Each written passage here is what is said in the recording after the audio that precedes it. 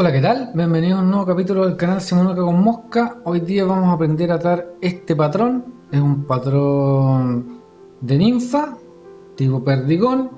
Se puede atar en el anzuelo que ven puesto en la prensa, como el mismo que tengo acá. Incluso este ya he visto varias acciones en el agua, se me está desarmando acá atrás. Pero da buen resultado. Los materiales y la forma de atarlo es bastante sencillo el anzuelo que tengo aquí es más chico, este es un número 12, este es un número 14, lo pueden atar entre el 12 y el 16. Pueden variar el color de mm, la bola de tungsteno, incluso pueden usar bolas más livianas que sean de bronce y de distintos colores como ven acá.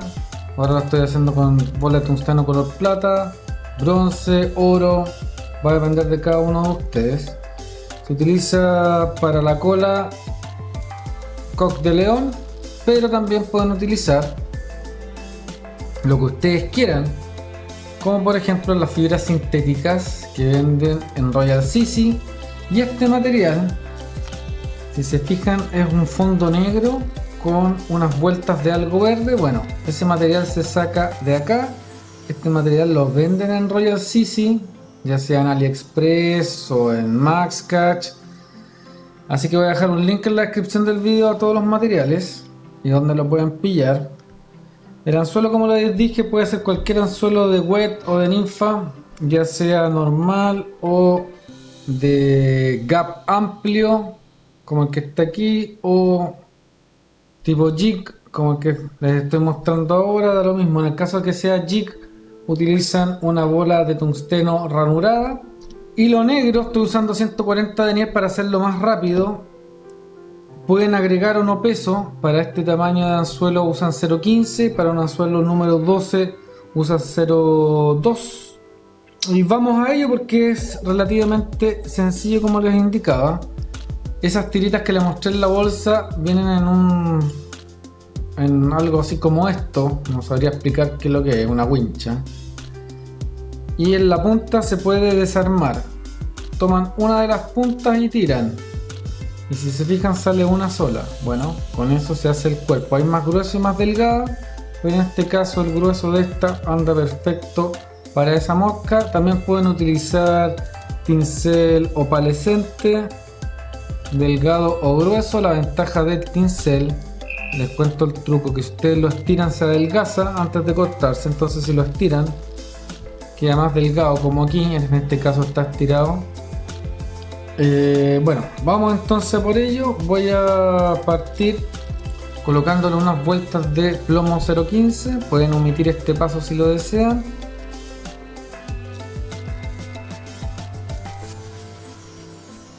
Aquí estoy dándole unas 6 vueltas. Si ustedes quieren darle más, la hacen más pesada y si le quieren dar menos, la hacen más liviana. Corto la patita adicional, pueden utilizar pegamento si quieren, ya lo he mencionado en otros videos como Zapagap o cianocrilato.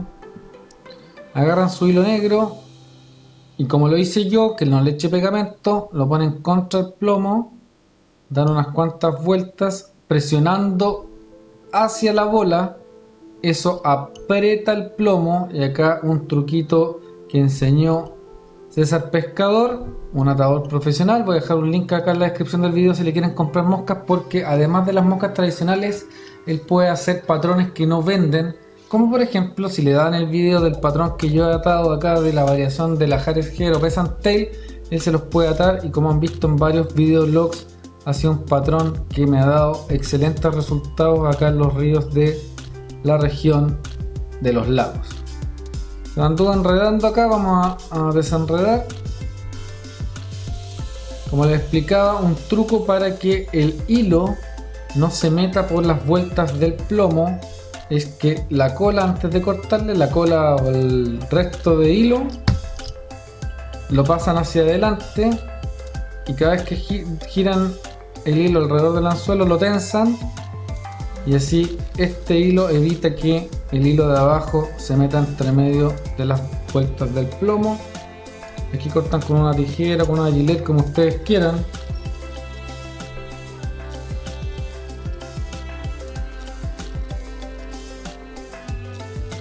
Cubren el plomo con hilo negro, se van hacia atrás, al ser 140 de Nier, se preocupan de hacer una buena rampa ahí nomás, para que no se produzca un quiebre con el plomo que colocaron y es con eso es suficiente arman su cuerpo hacia atrás hasta donde va la cola, que en este caso son cuatro fibras de esta pluma de coq de león. Voy a tomar esas que están ahí. No necesitan tomarlas de la punta porque la parte, a pesar de que aquí se ve negro, esa parte se corta. Así que no se preocupen, aprovechen toda la pluma porque no son baratas. Si quieren algo barato, pueden conseguir plumas tipo coq de león que tienen los mismos genes pero no son de coq de león que prepara Whiting. Miren aquí, estoy midiendo un poquito más corto que el cuerpo de la, de la ninfa. Posicionan. Cortan el exceso, acá con una tijera o con una gilet, como quieran.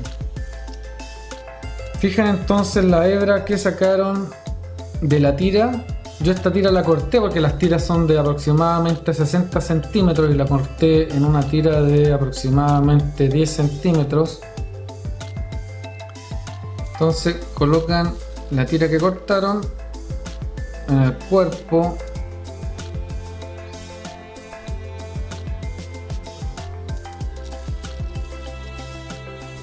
Del patrón se van hasta atrás y se devuelven hacia adelante. Si se fijan, el hilo está relativamente plano. Si no estuviera plano, lo que tienen que hacer es girar la bobina en contra de las, del sentido de giro de las manecillas del reloj.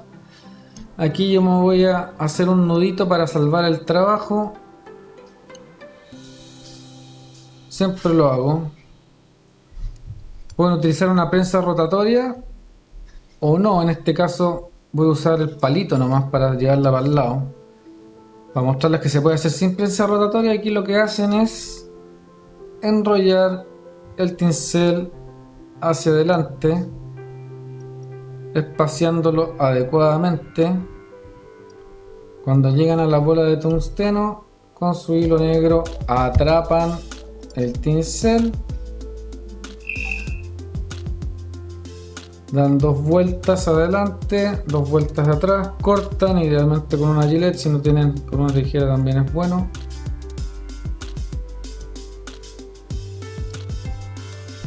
Aquí con un whip finish, un nudo, el nudo que gusten. Yo doy dos vueltas para que no se forme una cabeza muy grande.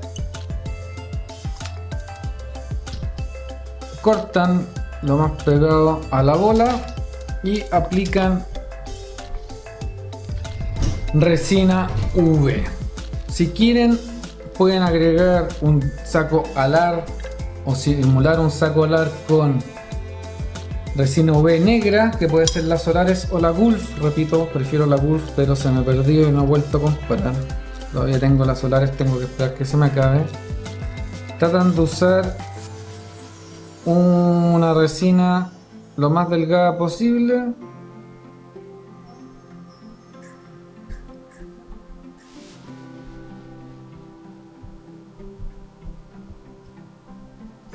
Tratan de poner lo menos resina posible también. Lo estoy moviendo porque esta resina, la Solaris Bone Dry, a pesar de que seca muy transparente y muy bien, como es muy delgada, si no rotara el anzuelo, se empezaría a acumular en un lado justamente porque es muy, muy delgada. Si fuera más viscosa, no tendría que estar girando la mosca. En algunos casos, lamentablemente, para hacer perdigones van a tener que tener una prensa rotatoria o, en esta ocasión, en vez de utilizar, si no tienen una prensa rotatoria, en vez de utilizar la Solaris Bone Dry, pueden utilizar la Gulf tradicional o la Gulf Thick o la Loon o lo que sea. Bueno, vamos a curar esto. Y eso sería una mosca muy picadora, fácil de atar. Y aquí les voy a dar otro datito Lo que les mostré de Royal Sisi, ese material viene en muchos colores. Yo tengo todos los colores que logré conseguir en Royal Sisi, que es este morado, rojo, naranja, verde oscuro y café. Y pueden con ello ir variando este mismo patrón poniéndole otros colores. Ahora bien, ¿por qué hice este y no los otros colores? Porque este color es el que mejor resultado me ha dado, por lo menos aquí en los ríos de la zona de los lagos. Prueben ustedes a tener unas tres. Cuando salgan a pescar, ponen el patrón. Si no tienen pique, lo sacan y así van probando hasta que se van a dar cuenta que alguno de estos, algunos colores, va a empezar a tener pique y entonces se quedan con ese y ahí empiezan a hacer en cantidades mayores el patrón para tener en sus cajas y reemplazando en caso de pérdidas, cortes, los amigos que bolsean, etc. Bueno, eso era amigos, espero que estén pasando bien la cuarentena con los truquitos que les estoy dando, gracias a los atadores locales chilenos. Ya saben, si tienen un patrón o ustedes no atan mosca y quieren que les hagan uno, contáctenlos porque ellos pueden hacerlo gustoso. Obviamente al costo que corresponde, pero así tienen patrones probados en Chile para Chile, estado por chilenos. Si les gustó este video, denle like, compártelo con sus amigos, no olviden suscribirse al canal y como siempre nos veremos en una próxima oportunidad.